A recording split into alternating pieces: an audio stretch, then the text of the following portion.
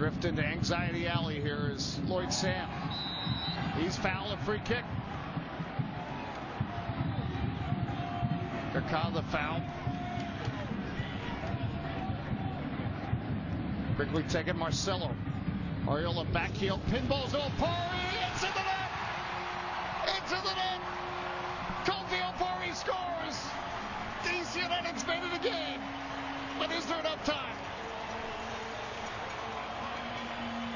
And a little flick from Arriola there allows the ball to get through to Opare. Right place, right time.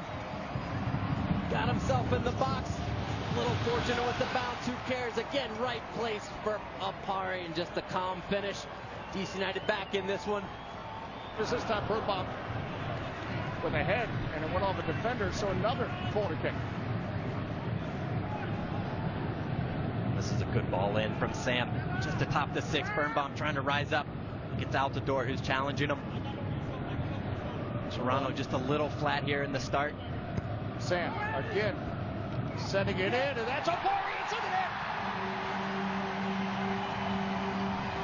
Oh, DC United getting their first goal in a quarter all season. Kofi Opare scores it, and United leads 1 nothing. And the fireworks are going off because this is a wonderful goal. Rises up ever so well. Strong header. That's not an easy header from that position. Wonderful ball in from Sam. We talked. It had eyes for the back of the net, but the fingertips of Barrett to push it over. Now let's give credit where credit's due. As Doyle hits a brilliant ball then testing Barrett's skills and abilities to get up off the ground. And Doyle, look, as he's receiving that ball, he knows exactly what he wants to do to try to bend that one to the far post. Back post, and it's 3-2. Opare scored the second goal the first time these teams met, and he does it again in Jamaica tonight. I said seven or eight minutes. They got it in about 90 seconds. Well, what do you know? The set piece, and that's the first quality ball off of the cross that we've seen tonight. And look at this, low hard driven to the perfect space, and that allows the, the, the header to redirect it, and Opare is at the back. Which is up and over. That's Rodney, the substitute.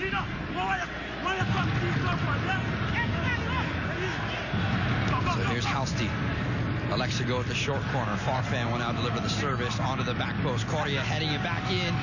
Nobody there on the back post. Back in front! Opare! It's 2 0 DC United.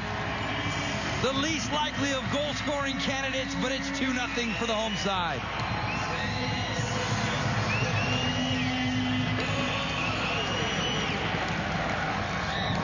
One goal in MLS play and now followed up with a goal in CONCACAF Champions League. He just recycles his run, completely unmarked. And as Simpson. Yet another set piece opportunity for United as the teams fatigue. Second minute of extra time. We'll play 30 at least.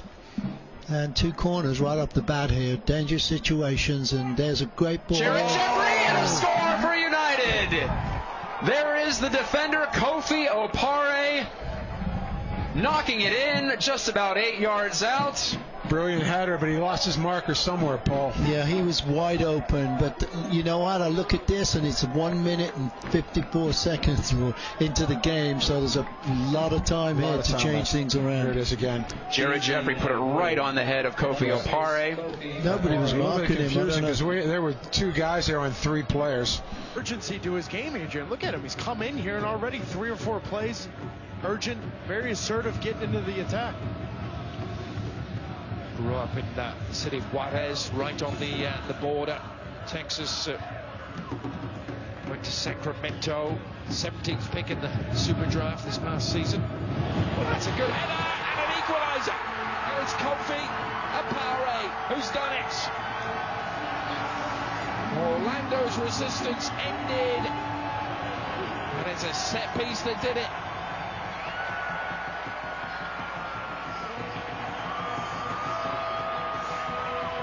Go back to talking about the first half set piece delivery. This is Taylor Kemp, naturally left footed, whips it in.